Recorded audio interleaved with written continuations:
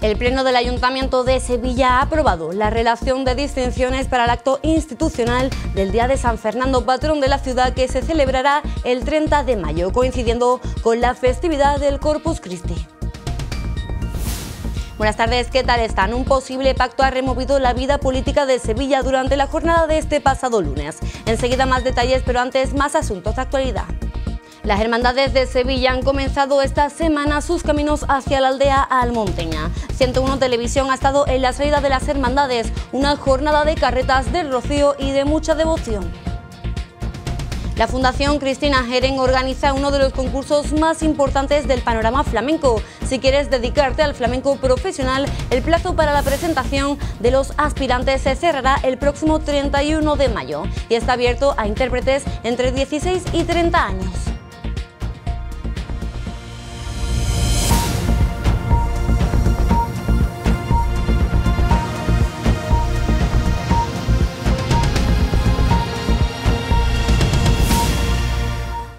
El Pleno del Ayuntamiento de Sevilla ha aprobado con el apoyo mayoritario de los grupos municipales la relación de distinciones para el acto institucional del Día de San Fernando, patrón de la ciudad, que se celebrará el 30 de mayo, coincidiendo con la festividad del Corpus Christi. El Pleno del Consistorio Hispalense ha aprobado con el apoyo mayoritario de los grupos municipales la relación de distinciones para el acto institucional del Día de San Fernando. El alcalde de Sevilla, José Luis Sanz, ha sido el encargado de dar lectura en el único punto del día del Pleno de la relación de nombramientos propuestos para las diferentes distinciones, así como algunos de los méritos más importantes de cada uno de los nombres. De Manuel Carrasco ha destacado, por ejemplo, el concierto que protagonizó en Sevilla, concretamente el más multitudinario que ha acogido la ciudad, mientras que de Garrido Bustamante ha destacado la voz rotunda e imponente de quien fue cronista de muchos eventos, y por último de Carmen Sevilla, que llevará el nombre de la ciudad a todos los rincones del mundo, convirtiéndose así en una de las mejores embajadoras de la ciudad. En clave municipal, el Ayuntamiento de Sevilla ha celebrado una sesión plenaria en el que se ha realizado el sorteo de las mesas electorales de cara a las elecciones europeas que se celebrarán el próximo 9 de junio. Los ayuntamientos de toda España han empezado desde el pasado sábado a sortear las mesas electorales para las elecciones al Parlamento Europeo del próximo 9 de junio, en las que se movilizarán a más de medio millón de españoles entre titulares y suplentes. El Partido Popular de Sevilla niega que haya un pacto con Vox para formar parte del gobierno en el Ayuntamiento inspalense, una confirmación que hacía el diario de Sevilla este pasado lunes. Una noticia en el diario de Sevilla afirmaba en la mañana de este lunes un pacto entre el PP y Vox para que estos últimos formaran parte del ayuntamiento hispalense. Afirmaban que era un pacto secreto negociado en la capital de España y en el que el alcalde de Sevilla, José Luis Sanz, había tenido un peso bastante importante. Ante esto, el ayuntamiento se ha pronunciado. El portavoz del PP de Sevilla, Juan Bueno, ha negado ningún tipo de pacto con Vox. No hay ningún pacto ni ningún acuerdo cerrado con Vox. Sí ha habido conversaciones con ellos y las sigue habiendo, igual que las ha habido y las seguimos manteniendo con el resto de los grupos políticos. Por su parte, la portavoz del grupo municipal Vox, Cristina Peláez, también ha comparecido ante los medios para confirmar la noticia de que no hay ningún pacto firmado, pero sí hay conversaciones. No hay ningún pacto firmado, lo que sí hay, pues puedo decir que son conversaciones que van por buen camino sin embargo, no hay ningún pacto firmado. También eh, queremos dejar claro que en Vox ningún proceso electoral va a condicionar ninguna negociación eh, en ciernes, ni en Sevilla, ni en ningún territorio de España. Ante esto, desde el Partido Popular Andaluz han comunicado ni la Dirección Nacional del PP, ni la Dirección Autonómica del PP de Andalucía, ni el PP de Sevilla, ni el Gobierno del Ayuntamiento de Sevilla han mantenido ninguna reunión con Vox. No existe ningún pacto y no existe ningún texto de un acuerdo que no existe. Con ello, este jueves el alcalde de Sevilla, José Luis Sanz, ha negado un pacto con Vox para formar un gobierno de coalición. Yo es que llevo diciendo lo mismo desde hace, desde hace ya... Dije durante los 600 días que duró la campaña electoral que yo aspiraba a obtener una mayoría suficiente que me permitiera gobernar. Creo que lo conseguí. Durante estos diez meses ya largos eh, he venido diciendo y reivindicando mi derecho a gobernar en minoría, con una mayoría suficiente de 14 concejales que tiene el Partido Popular. Y lo mismo que decías hace ya mucho tiempo cuando empecé de candidato, digo ahora después de diez meses que llevo de alcalde de Sevilla. Quiero seguir gobernando en solitario. No voy a pactar con Vox. Yo hoy quiero anunciarle al Partido Socialista que le voy a dar una nueva oportunidad para que eviten la entrada de esa, como ellos llaman, ultraderecha en el gobierno de la ciudad de Sevilla. El presidente de la Junta de Andalucía, Juanma Moreno, ha acusado al PSOE y Vox de formar una pinza en el Ayuntamiento de Sevilla y les ha retado a presentar una moción de censura. Por boca de su propio alcalde, eh, que es el responsable del ayuntamiento, ha dicho claramente que no. Es más, va a llevar los presupuestos al, pleno del ayuntamiento precisamente para que de una vez se posicione aquí una pinza. Partido Socialista Vox. Ninguno de ellos son capaces de abstenerse para que salgan los presupuestos de la ciudad. Ninguno de ellos es capaz de apoyar los grandes proyectos de la ciudad. Y nos, sorprende muchísimo la posición del Partido Socialista, que dice que estamos en manos de Vox, pero cuando le pedimos una abstención para sacar el presupuesto no es capaz de hacerla. Cuando el PP, el PP ayudó al propio señor Espada, cuando era alcalde, a sacar los presupuestos precisamente para que la ciudad no se bloqueara. La pregunta que yo me hago, ¿Qué intereses tiene la pinza Vox PSOE en bloquear la ciudad de Sevilla de manera constante y permanente? Esa pinza, ¿qué interés tiene? ¿De derribar el gobierno del Partido Popular en la ciudad de Sevilla? Pues que lo digan, que presenten una moción de censura, PSOE y Vox juntos, y derriben el ayuntamiento. El bloqueo en el gobierno de Sevilla ha llevado al alcalde José Luis Sanz a poner encima de la mesa una cuestión de confianza en caso de que los presupuestos municipales no se aprobaran en el próximo pleno extraordinario de junio. El alcalde de Sevilla, José Luis Sanz, ha planteado si someterse a una cuestión de confianza en caso de que los presupuestos municipales no prosperen en el próximo pleno extraordinario de la primera semana de junio. El primer edil de la ciudad ha señalado que si en tal pleno extraordinario se mantuviera la negativa del resto de fuerzas políticas, esta herramienta permite al alcalde convocar un pleno con un único punto del día, que sería cuestión de confianza vinculada a la aprobación del presupuesto municipal. Sanz ha explicado el que recoge la ley de régimen electoral vinculada a la cuestión de confianza. Y en ese pleno las fuerzas políticas tienen dos opciones también. Pueden votar en contra del alcalde o pueden votar abstenerse. ¿eh? Abstenerse, no es votar a favor, abstenerse. ¿Qué pasa si votan en contra del alcalde? Pierdo la cuestión de confianza. En ese momento se abre un plazo de un mes, de un mes, para que el resto de fuerzas políticas puedan presentar una moción de censura en el Ayuntamiento de Sevilla un mes. Si en el plazo de un mes no se presenta esa moción de censura, automáticamente el presupuesto queda aprobado. El alcalde ha asegurado que si las cuentas municipales no se aprueban en el pleno de la primera semana de junio, la votación sobre la cuestión de confianza se celebraría tres o cuatro días después. El PSOE municipal ha remitido a José Luis Sanz el mismo documento de propuestas para negociar el presupuesto que le entregó hace tres meses. Así se ha pronunciado al respecto el portavoz del PSOE, Antonio Muñoz. El señor Sanz tiene una oportunidad histórica de evitar una mala noticia para la ciudad de Sevilla, que sería la entrada de la extrema derecha en el gobierno municipal. Y para ello tiene trazado el camino, que es ni más ni menos la negociación. ¿Y negociar qué? Pues este documento de presupuesto que le remitimos hace tres meses y del que no hemos tenido ninguna respuesta, porque sencillamente no se han sentado a negociar. Por tanto, el camino está trazado y yo espero, y por nuestra parte, la negociación se puede producir de manera inmediata, mañana, pasado, cuando el Gobierno municipal quiera.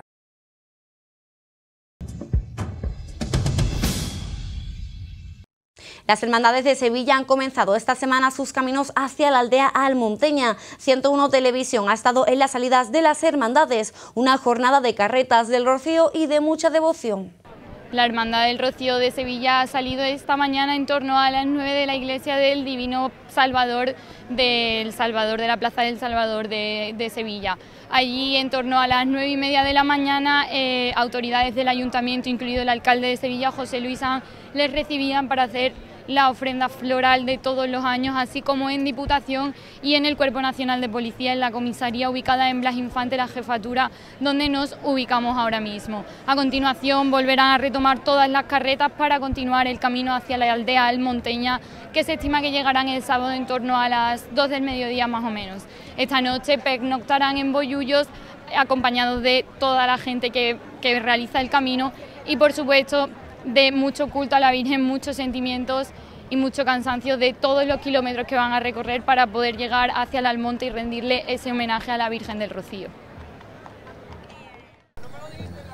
La Hermandad Castrense de Nuestra Señora del Rocío, la 112, en orden de filiales y con sede en el acuartelamiento de Tablada aquí en Sevilla Capital, iniciaba este martes su peregrinación hacia la aldea Almonteña, celebrando misa de romeros a las 8 y cuarto de la mañana en la parroquia de Nuestra Señora de Loreto. Tras la misa de romeros, la primera de las seis corporaciones rocieras de la capital ha visitado en el barrio el Colegio Vara del Rey y ha salido de la ciudad por el puente de San Juan para estar al mediodía ante la parroquia parroquia de San Juan Bautista para el rezo del Ángelus.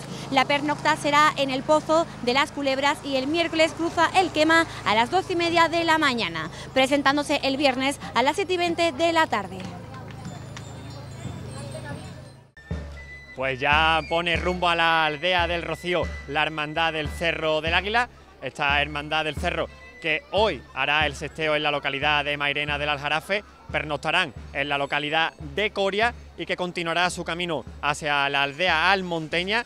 Primero pasará por el vado del Quema, lo hará el jueves en torno a la una y media del mediodía para posteriormente, ya bien entrada la tarde, en torno a las ocho, ocho y media, pasará por la localidad de Villamanrique al puente de la Jolí llegará el viernes en torno a las 7 de la tarde y también a las 7 de la tarde ya el sábado, cuando una vez haya llegado a la aldea de Almonte, hará su presentación hacia la Virgen del Rocío, la hermandad del Cerro del Águila que salía esta mañana en torno a las 9 menos cuarto de la mañana y que ya pone rumbo un año más para encontrarse con su madre, la Virgen del Rocío. La Hermandad del Rocío de Triana acaba de salir de la parroquia de San Jacinto dirección a la aldea de Almonte en busca de la Hermandad Matriz del Monte y en busca de la Virgen del Rocío. Muchos son los fieles, devotos y hermanos que han querido estar en la misa de Romero y que ahora mismo ocupan las calles de Triana. Solamente hay que ver la calle San Jacinto y la calle Paje del Corro como está de llena para notar la importancia de esta devoción en el barrio de Triana. Escuchan también los sones de la nieve de Olivares que acompaña en el tramo que recorre el sin pecado las calles del barrio donde visitará muchas de las iglesias que tienen hermandades penitenciales y de glorias del barrio. El miércoles de carretas, un día señalado en el calendario de todos aquellos rocieros sevillanos, teniendo en cuenta que salen en peregrinación ya las cuatro hermandades filiales de la capital hispalense. La Hermandad del Rocío de la Macarena finalizaba su misa de romeros alrededor de las 8 menos 10 de la mañana, iniciando así su peregrinación a la aldea almonteña desde su parroquia de San Gil, a la espalda de la Basílica de la Esperanza Macarena. Este año, como una de las novedades, es la Filarmónica de Nuestra Señora de la Oliva de Salteras, la banda que en esta romería del Rocío es la encargada de acompañar a la hermandad en su salida de la capital inspalense. Durante el recorrido a la aldea, la hermandad transcurrirá por el quema este jueves a las 12 y cuarto de la mañana, siendo la presentación el viernes a las 9 y media de la noche. La Hermandad del Rocío de Sevilla Sur ha salido esta mañana en torno a las 9 y cuarto más o menos, tenían la salida prevista para las 9, pero la misa del Romero se ha retrasado un poco y por lo tanto han retrasado su salida. Sin embargo, ellos ya han empezado el camino, están a punto de dejar ya la ciudad para continuar hacia Mairena del Aljarafe, donde pararán para hacer el almuerzo y continuarán hasta el Pozo de las Culebras, que será la parada donde pernoctarán esta noche. Durante el camino, el Colegio de Nuestra Señora de las Mercedes aquí en Sevilla le ha realizado una ofrenda floral, así como el Colegio de Compañía de María y el Cuartel General de la Guardia Civil, donde, les han deseado un buen camino y se han ofrecido a todas las necesidades e incidencias que puedan ocurrir. La hermandad continúa hacia adelante y en unos pocos minutos dejarán la ciudad para empezar ese camino interior hacia la aldea almonteña. Bueno, hemos visto que Sevilla se vuelca con el Rocío, con sus hermandades, una misa de Romero con una asistencia masiva, pues estas mañanas además luminosas y fresquitas que estamos teniendo en Sevilla, pues ayudan, invitan a que tantos rocieros, tantos romeros de Sevilla, pues se echen a las calles de la ciudad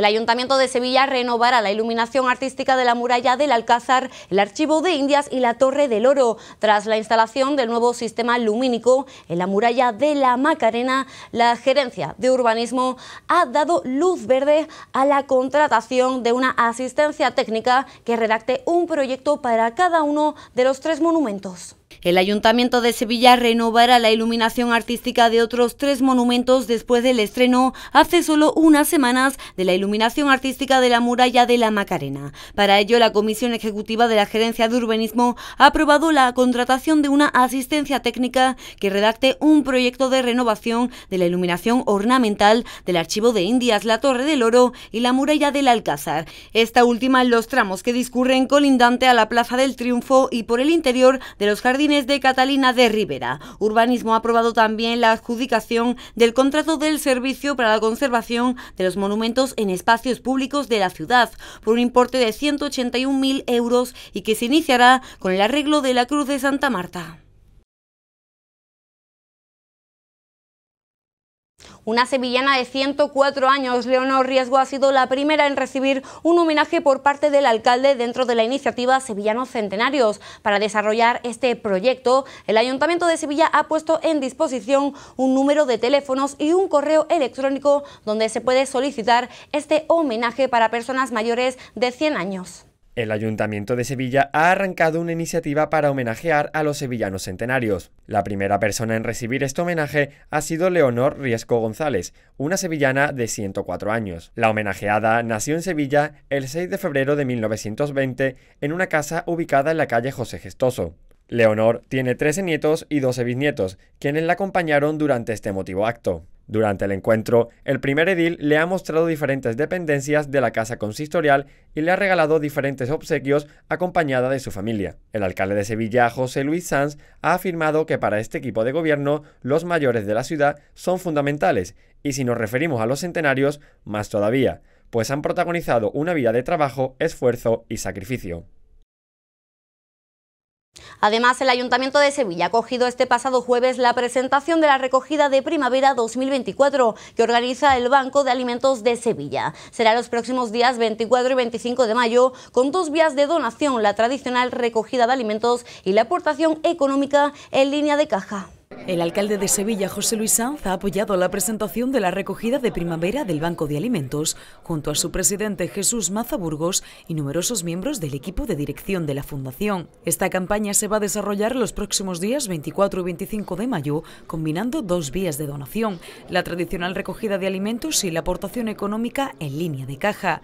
Aceite, leche, arroz, legumbres y caldo son los alimentos más necesarios. Esperamos recoger este año, este año en esta recogida en torno a 250, 280 mil kilos. Ese dinero que se recauda en cada una de las entidades permanece en las entidades y con eso nosotros podemos comprar los alimentos que nos faltan en, nuestra, en nuestras estanterías. Por eso la donación económica es tremendamente importante también. Para esta campaña se ha contado con la participación de 5.000 personas voluntarias que estarán en más de 430 puntos de recogida. Durante la presentación, Sanz ha animado a todos los sevillanos y sevillanas a que se unan a esta gran causa. Es imprescindible la colaboración de todos. Yo quiero hacer un llamamiento a todos los sevillanos a que, primero, a que se, se den el paso y se hagan voluntarios, como ha pedido el presidente, y segundo, que participen, por favor, en esta campaña a partir del próximo día 24, que todavía, desgraciadamente, en Sevilla hay muchos sevillanos, muchas sevillanas con necesidades de alimentación. Además de los puntos de recogida establecidos, también se ofrecen otros métodos de donación a través de la página web www.supersolidario.com, a través de Bizum utilizando el código 33495 o la donación en cuentas bancarias habilitadas.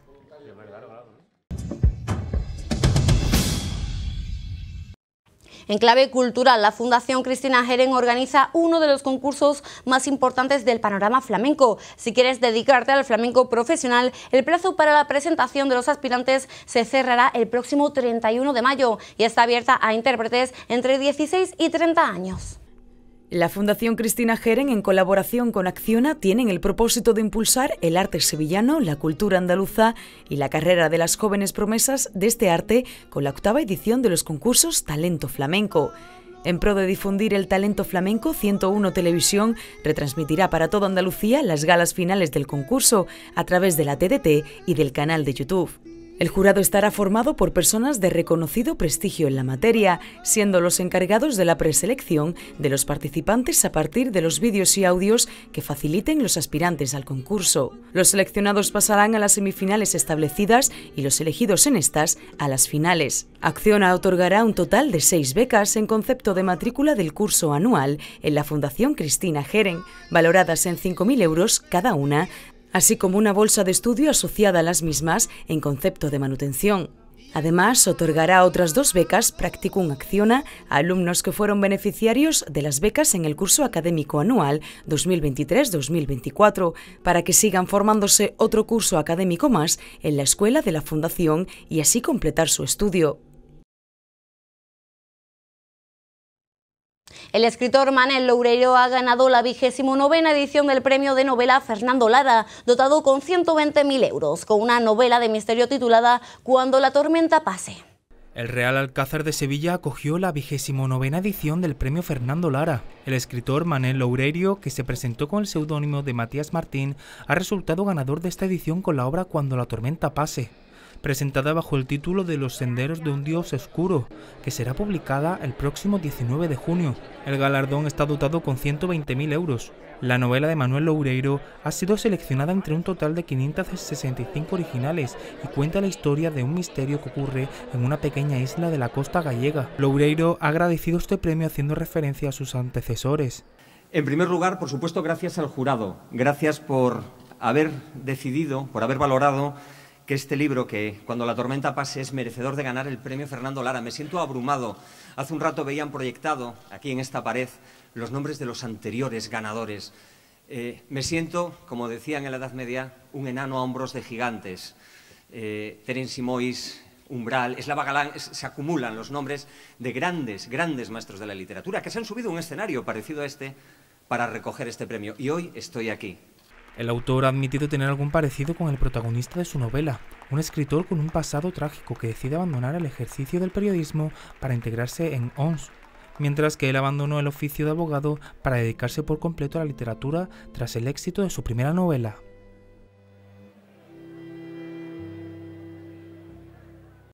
El Consejo de Hermandades y Cofradías de la ciudad de Sevilla ha presentado en la capilla de Santa María de Jesús el cartel anunciador del Junio Eucarístico 2024, una obra de Isabel Sola, el ostentorio de San Pedro, el dulce nombre de Jesús de la Quinta Angustia y la comunión de los enfermos forman este cartel.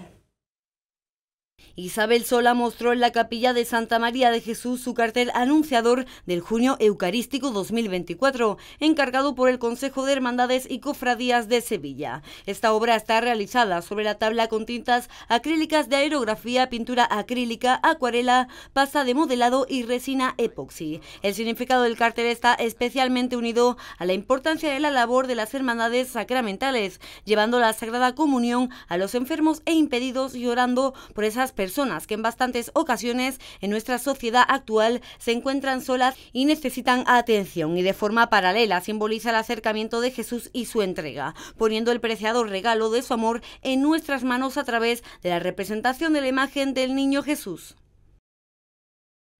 Además, la Diputación de Sevilla ha presentado la iniciativa turística Despertando Historia, que recrea virtualmente el pasado prehistórico de la Comisa Norte del Aljarafe.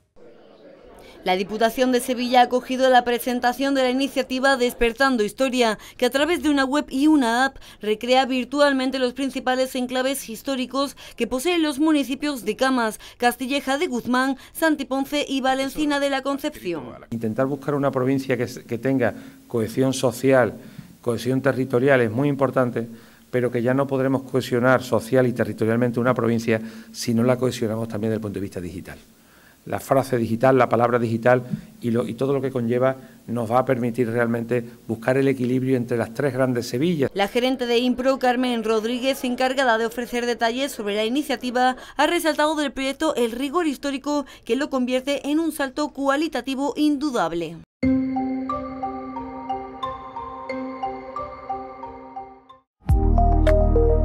El tiempo para este domingo 19 de mayo se presenta con cielos con intervalos de nubes medias y altas y nubosidad de evolución diurna en las sierras.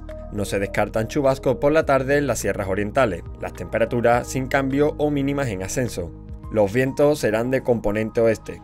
El tiempo para este lunes 20 de mayo se presenta con cielos poco nubosos, con nubosidad de evolución diurna en las sierras, sin descartar chubascos en las sierras orientales. Las temperaturas estarán sin cambio y los vientos de componente oeste.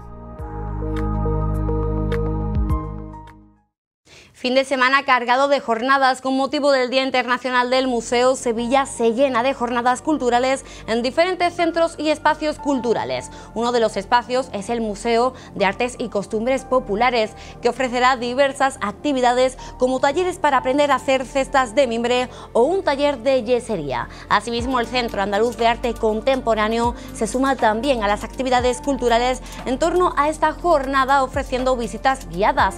El Museo de Bellas Artes de Sevilla propone presentaciones y exposiciones. Junto a esto serán diversos centros culturales que ofrecerán su espacio para celebrar y disfrutar un año más del Día Internacional de los Museos. Además, este domingo viviremos una de las imágenes más icónicas de la romería del Rocío. El salto de la reja marca el inicio de la procesión de Pentecostes, que tiene lugar en la madrugada del lunes del Rocío. Y desde 101 Televisión os retransmitiremos este momento único para que podáis disfrutarlo desde cualquier lugar. Con esto nos despedimos. Gracias por acompañarnos.